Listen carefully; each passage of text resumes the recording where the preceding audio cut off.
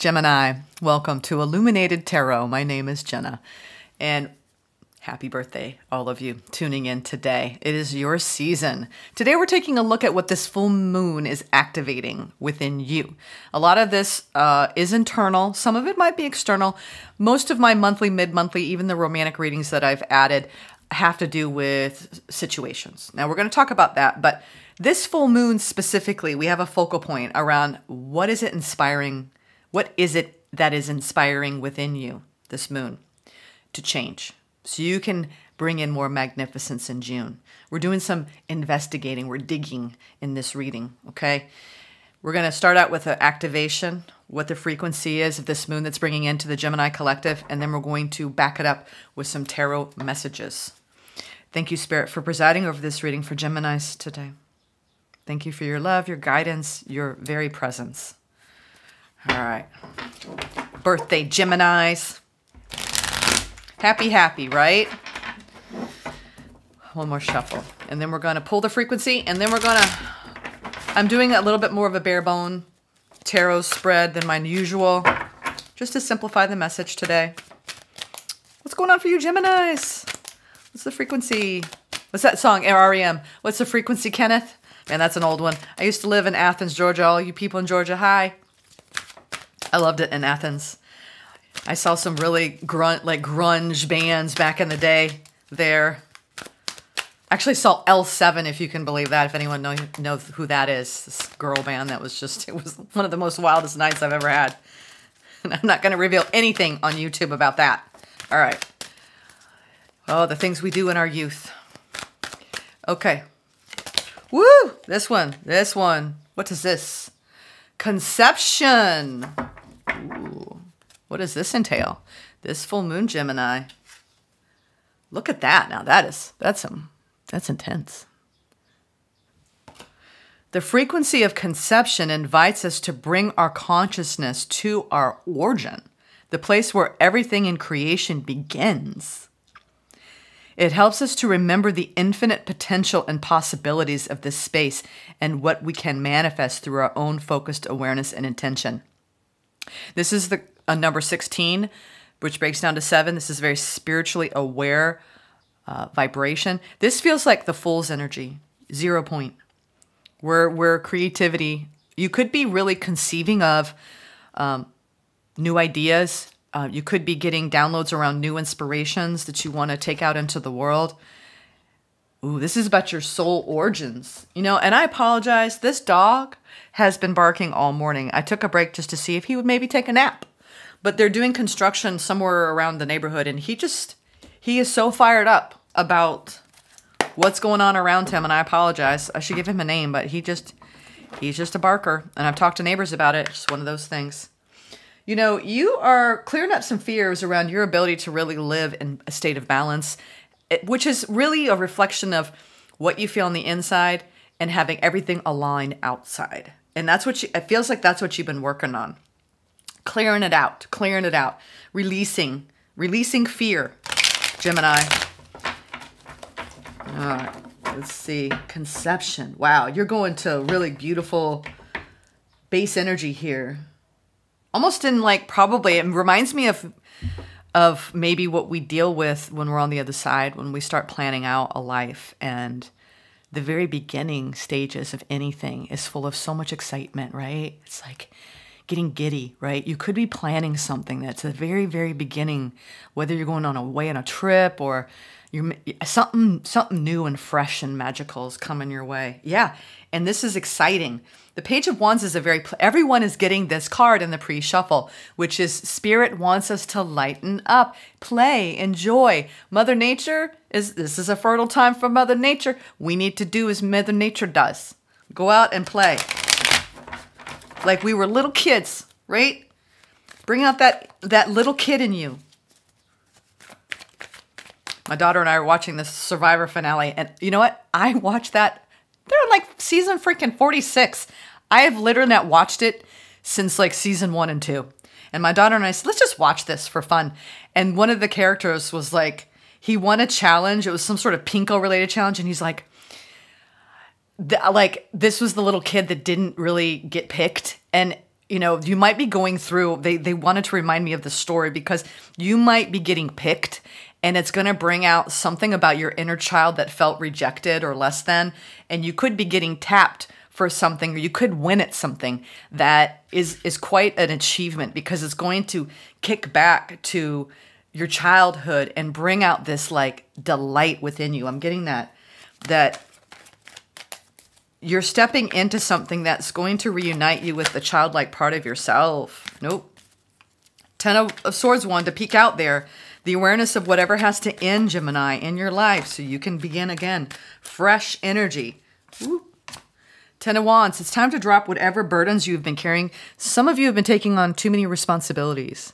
Or maybe that's the way you approach your life. Like you've got to take care of all of these tasks and it's a burden.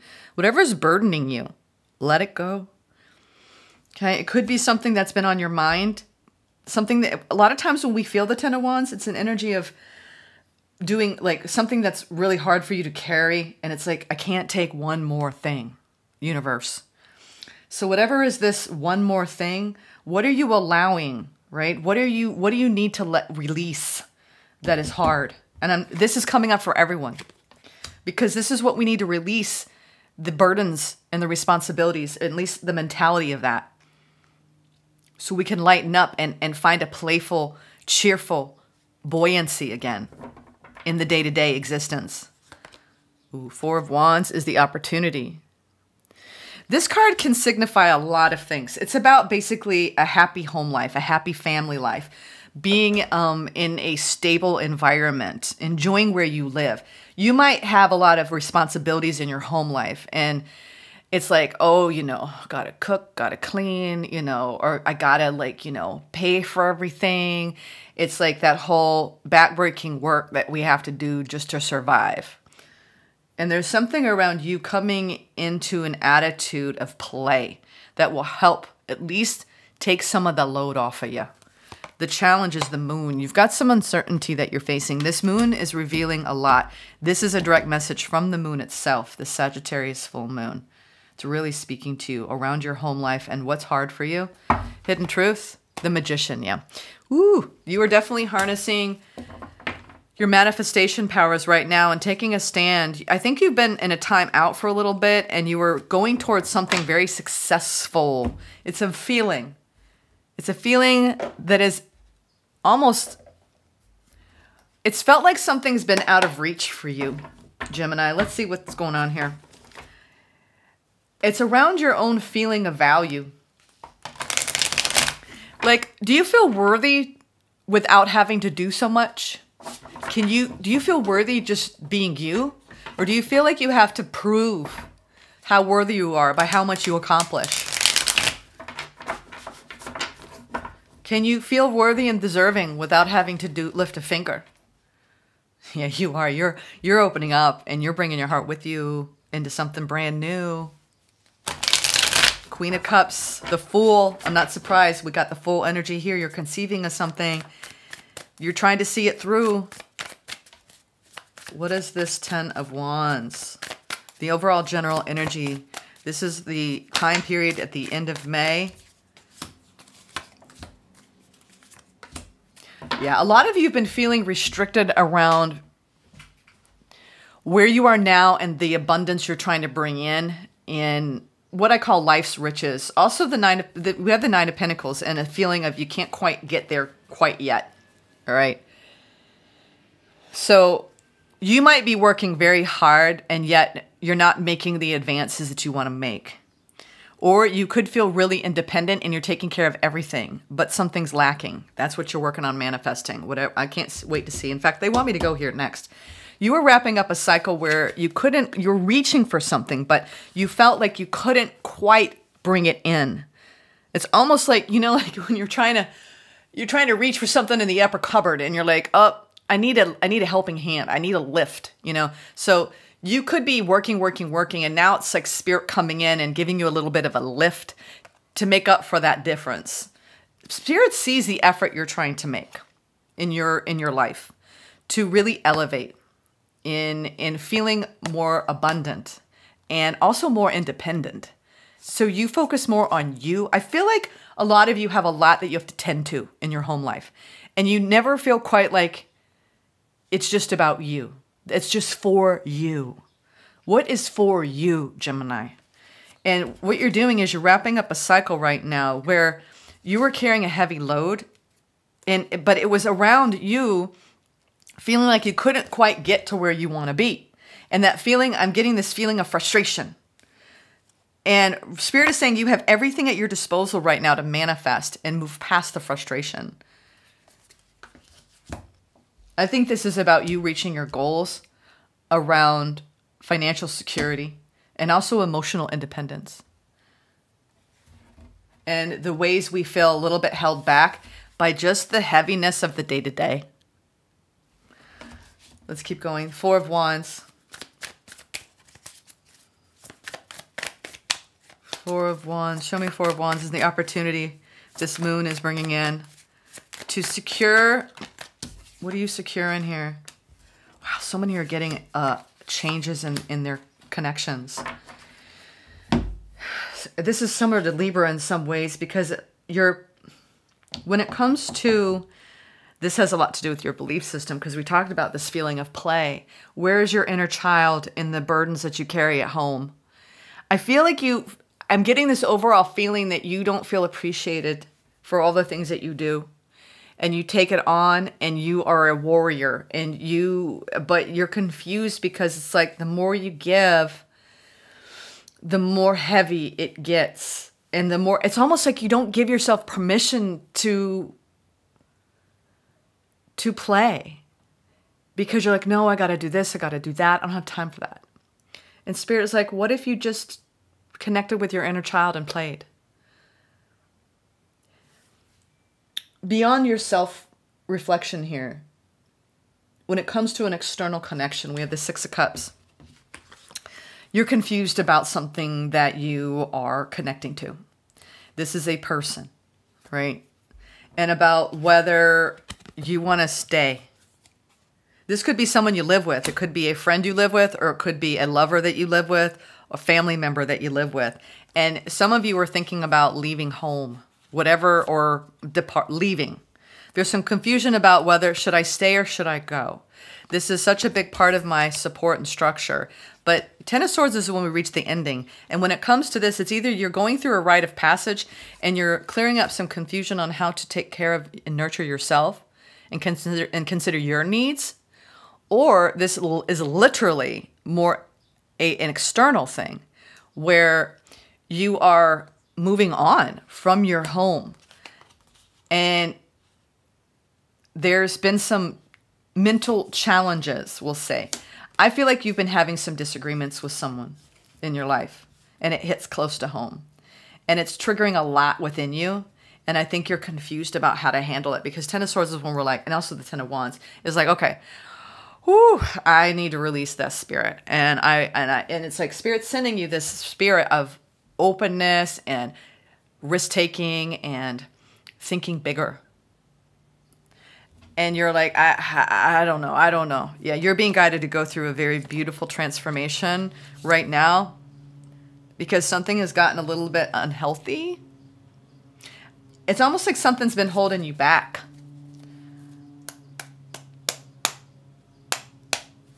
Let's see the moon here. The challenge. I apologize. You know, it is spring, summer. We got all kinds of noises going on out there. Ooh, you're getting, this is about your communication. Yeah. This moon is revealing the people that you want to work with and the people you don't it feels like a, a little bit of a mix. I don't, some of you might be actually working with people that you live with because I'm getting a home environment and the opportunity, but in the challenge, it has some like threads of, of work. And if it's not about work, it's the finances that are suffering and it's causing stress. It's causing strained communication because there's a lot of unknowns. Some of you are thinking about moving on from a job and you're getting communication from this full moon. And the challenge is making the decisions around, okay, I'm reaching, Spirit's giving me a boost. They're helping me, right? Closing the gap between where I am and where I want to be, what I'm manifesting. There are new opportunities coming in in this new cycle where you didn't feel like you were really bringing in what you wanted and things became heavy. I think that you've been going through some challenges with a connection in your home life and you're thinking about ending that. Simultaneously, you're being guided out of that and toward new collaborations and new connections in your work life that are actually going to open up a new pathway for you. The challenge is, is you, this isn't that hasn't arrived yet, but I think you're sitting here in a little bit of worry and doubt and confusion. This is if it's all external to you, but I think from an internal perspective here, you're coming out of a state of repression where you feel the burdens of your day to day and your duties and your obligations and your responsibilities. And Spirit is saying, let's change that and move away and allow yourself to open up to the universe and collaborate with people and come out of hiding and enjoy your life again. There's something around you being repressed in some way from feeling abundant. And it's hitting close to home and it's hitting close to work. And you're trying to manifest your way out of it. What is the magician here? This is the hidden truth. You are manifesting your way out of something that has been heavy. You you've been thinking about change, massive change. It's like usually this happens too. When you change something around your personal life, it hits every part of your life. Or when you change something around your work life, it changes every part of your life because you change. You're changing, Gemini. You're changing. Because you're calling in a frequency of manifestation. And when we do that, it's going to bring great change. Yeah, and you're stressed out about whether this is going to come through. You're stressed out about something that you're not sure if it's going to come through or not. Air has been up is up in their head during this time period. I'm not sure why. The air signs Libra had a similar vibe where it was just like fear of the unknown, feeling a little bit burdened on the path. Like spirit, you've given me a too much of an assignment here. That's what it feels like. I'm laughing because it's like, all right, I know life can get hard sometimes. It can. I'm right here with you. Yeah, it can. You have the Tower, the Nine of Swords, in the Hangman sideways. I think you're coming out of a pause. You could you could have difficult communication or have had difficult communication either before the moon or during the moon or right now coming into this reading and it's it's shifting your life I almost feel like it's time to speak up about your needs, Gemini. It's time. It's time to put yourself first. You're in a trial. It's almost like, please, for the love of God. And you're like, okay, I'm going to do it. I'm going to do it. I'm going to communicate. I'm going to talk about the things that I'm hiding. I'm going to open up. And come what may, it may mean I leave a situation, but at least we'll be on the same page. That's what I'm hearing. And you're manifesting your way out of something that's been on your mind that you've been really stressed out about mentally. Nine of Swords. It's going to create a tower, and you're like, "Come what may, I'm manifesting this." And you're you want to come out of stagnation. I think you've been holding in something long enough. There's this feels like an important conversation is happening because of this moon, and it may lead to you being in a brand new beginning, and an and an ending. Yeah, the Fool. Thank you, Spirit this fool, you're realizing you're ready to take a risk and you're ready. It's like there's something you don't trust right now. You've been going within. You're going after a higher wish fulfillment, especially in something that you love, but I think it's going to require you to transform and let go of something first. And there's some resistance. I think you've been resistant to change. And I know, I know, y'all. I know how hard it is. We're going to get more into the nitty gritty in June, but this is just kind of the things that you're grappling with. Yeah, this moon is bringing a judgment call. What is this judgment call, Gemini? And this is the thing that I'm telling every sign and what the lesson is for this moon because I got it downloaded to me from Spirit. Listen, when it comes to anything in your life, personal or professional, does this career make you feel the way you want to feel? Does this relationship make you feel the way you want to feel? And if it doesn't, please don't hold it in. Absorbing energies and stuffing them doesn't help. It just creates more disturbances inside. And you don't want that, Gemini. You do not want that. I feel like you're getting some answers. The challenge is are you going to hate are you going to listen? You are going to have an opportunity to, to come back together with someone and get on the same page. All right? But there might be a tower moment underneath all this where you really need to be honest. All right? Wow, you may have someone you may have someone who someone who who is interested in you that you don't even know about Interesting. Okay, I just got that. There's a surprise offer here. There's a surprise offer. Someone's handing you their cup. Maybe it's an apology. I think you you might get a surprise apology here, and you've been stressed about something. Again, I'm sorry for the outside noise. It's unavoidable. All right. Or I don't know if I've already said that to you. Yeah, you're going within. This is the advice from Spirit. Hermit, really consider this. If you're getting handed an offer, really consider it. I'm getting that message. Yeah, definitely taking a stand, walking away from any conflict, going within. I think someone wants to come in and apologize. You've been confused about a situation, the communication, you need to communicate. Yeah, this is about your security as well, feeling at peace inside. The Queen of Pentacles is very grounded energy. So whatever has been making you feel a little bit mm, restless, I feel a restless energy and a reevaluation of an important soul contract. If not, this is also you dropping the burden of all of your responsibilities and obligations and really choosing play. Play. So you can come back into balance. No matter what you're dealing with, whatever hardship you're dealing with, Gemini, this period of time leading up to June between the Sagittarius full moon and, and the first few days of June is a time for you to get out, right?